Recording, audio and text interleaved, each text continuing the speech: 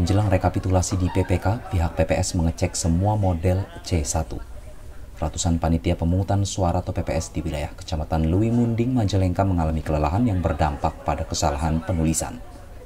Beginilah situasi di Aula Kecamatan Lui Munding pasca pencoblosan pemilu 2019. Terlihat ratusan petugas PPS sedang mengecek kertas model C1 dan ditemukan sedikitnya 25% terjadi kesalahan penulisan. Hal ini disebabkan karena faktor kelelahan.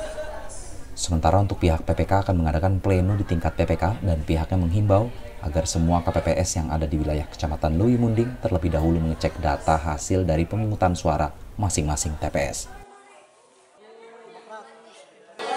Kalau kendala, alhamdulillah tidak ada, cuma mungkin kesalahan-kesalahan menulis masih ada karena faktor kelelahan.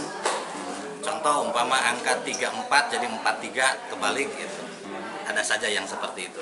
Kira-kira berapa persen Pak yang ada kesalahan itu? Kesalahan penulisan itu paling juga di angka 25 persenan lah.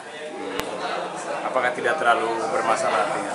E, tidak terlalu bermasalah karena kita patokannya ke plano. Nanti ketika itu betul jadi masalah kita buka planonya, saya satu planonya.